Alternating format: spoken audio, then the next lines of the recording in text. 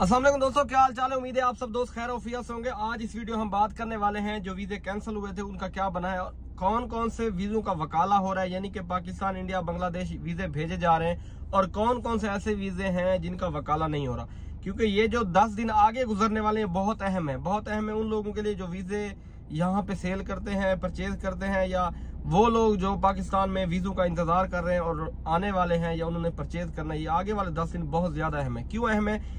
क्योंकि ऑलरेडी जो वीजे कैंसिल हुए, वो शिरके के वीजे कैंसिल हुए अब उनकी बहुत सारी बातें की जा रही हैं कि उनकी फ़ीस रिटर्न होगी। फ़ीस रिटर्न नहीं होगी तो क्या होगा? कैंसिल हो गया तो क्या ये दोबारा ओपन होंगे कि नहीं होंगे? दोस्तों, ये दोबारा ओपन तो नहीं होने वाले। जितना तक मेरा जाती एक्सपीरियंस है। नंबर टू इनकी फीसें क्योंकि हुकूमत ने जो है ना ये खत्म की हैं तो इनकी फीसें भी वापस नहीं आने वाली। 2000 जो 2100 वीज़ा इशू कराने की फ़ीस है, वो नहीं आने वाली। नंबर टू अब तीसरा रास्ता ये निकाला जा रहा है कि ये जो वीजे इशू हुए हैं, इनको ये पहले शिरके में थे, अब इनको मुसस्से में डाला जाए। मुसस्से में डाल के, हालाँकि वो भी छोटा शिरका है, जिसमें सौ रियाल मकतबा अमल आता है, और ये जो मुसस्सा है, वो भी छोटा, फर्दी मुसस्सा है, उसमें भी मकतब अमल सौ रियाल आता है। अब कहा यही जा रहा है क्योंकि बहुत सारी कफीलों से दो मेरी बात हुई है क्योंकि हमारा कुछ एक दो बंदों के वीजे जाने वाले थे।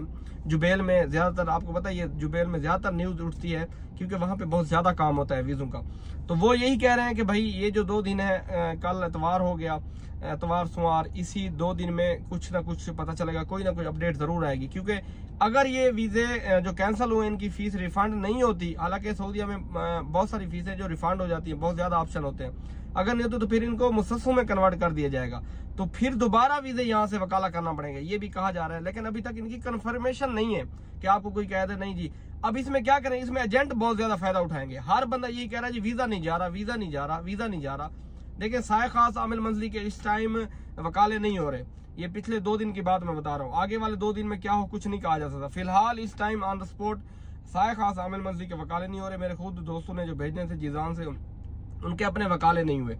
तो कल रात ही उनसे मेरी बात हुई थी, वो मुझे बता रहे कि भाई वकाला करने की कोशिश कर रहे हैं, पैसे भर रहे हैं, लेकिन वकाले नहीं हो पा रहे। और नंबर टू अब हर बंदा, मैंने जैसे पहले बात की थी, वीजे, अब कुछ दोस्तों को मुझे कॉल आई है, वो कह रहे हैं, जी, हमने तीन तीन महीने हो गए एजेंटों को पैसे दिए, अभी तक हमें वीजे नहीं रिसीव हुए। वो कह रहे हैं, जी इशू चल रहा है, फर्दी देखें फर्दी मुसस्से के इस टाइम वीजे इशू भी हो रहे हैं और जा भी रहे हैं। जो फर्दी मुसस्से हैं, जो लीगल डॉक्यूमेंट्स जिन्होंने जमा किए हुए थे, सब कुछ उनका मुसस्सा मेंटेन था, हर चीज़ लीगल थी। उनके वीजे अभी भी जा रहे हैं इशू हो रहे हैं, वीजे लग भी रहे हैं। वो जो वीजे अब जो मैंने आपको पहले भी बताया था कि एक सऊदी पे तीस तीस, पैंतीस पैंतीस जब शिरके ओपन हो जाएँगे तो वो फिर साफ़ ज़रिए हुकूमत एक्शन लेगी। और हुकूमत ने वही एक्शन लिया जो आपके सामने है। बहुत सारे लोगों के वीजे कैंसिल हुए। बहुत सारे लोग परेशान हैं। कुछ लोगों ने मेडिकल के पैसे दिए हुए थे मेडिकल करवा लिया था। मेडिकल एक्सपायर हो जाएगा। बहुत सारी ये चीज़ें कामन है दोस्तों। यहाँ पे इन सिस्टम को समझना किसी के बस की बात नहीं। कोई बंदा ये कहे नहीं जी, मैं इस टाइम आपको सौ फ़ीसद ये बात कर रहा हूँ। नामुमकिन मुमकिन ही नहीं है। कुछ बातें होती है जो आपको सौ फ़ीसद की जा सकती हैं। वरना जो आने वाली अपडेट है, क्योंकि इनके पास खबर नहीं होती। होता है लोगों का रबता, हमारा भी होता है, सऊदियों के साथ रबता होता है, बहुत सारे लिंक होते हैं, रबता होता है, लेकिन इस तरह के नहीं है कि आपको कोई सौ फ़ीसद जो है ना, पक्की रिपोर्ट दे नहीं, लेकिन ये फर्दी मुसस्से के जो लीगल डॉक्यूमेंट्स चार अमाल वाले जिनका एक सऊदी का एक मुसस्सा है, उनके वीजे जा रहे हैं और वीजे लग भी रहे हमने खुद वीजे इशू कराए, अलहमदुल्ला हो गए और चले भी गए। लेकिन कुछ अब, यहाँ पे क्या होता है, हर मुसस्से का अपना सिस्टम होता है, हर मुसस्से की अपनी कैटेगरी होती है।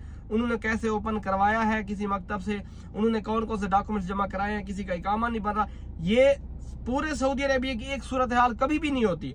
हर मुसस्से की अपनी सूरत हाल, हर कफील की अपनी कहानी होगी। कुछ लोग उन्हें फीसें नहीं भरी होती, कुछ लोग इकाम तब्दील नहीं करना चाहते, वो भी ये कह देते हैं जी सिस्टम में खराबी है। कुछ लोग उन्हें मुसस्से में बंदे ज़्यादा रखे होते हैं, कुछ लोग उन्हें वो कैटेगरी रखी होती है जो मुसस्से में अलाउ नहीं होती, इस वजह से फीसें नीचे नहीं आती और इकाम भी नहीं बनते और वीजे भी इशू नहीं होते। तो ये हर सऊदी का अपना अपना मसला होता है। अब अगर आपको कोई बंदा कहता है जी सिस्टम में मसला है, ये मसला है तो हर सऊदी का मसला ये नहीं है। एक बात समझ लें, ठीक है? बहुत सारे लोगों के वीजे जा रहे हैं बहुत सारे के नहीं जा रहे। ये हर सऊदी का अपना अपना प्रॉब्लम जिन जिन से अपना आपका रबता है उनसे अपना रबता जारी रखें। अगर वो हफ़्ता दस दिन आपको वेट कह, कहते हैं तो वेट करें लेकिन इससे ज़्यादा नहीं। ये नहीं है कि वो कह रहे हैं जी नहीं सिस्टम का मसला है आपके वीजे कैंसिल हो गए हैं और वीजे आप दोबारा नहीं होंगे।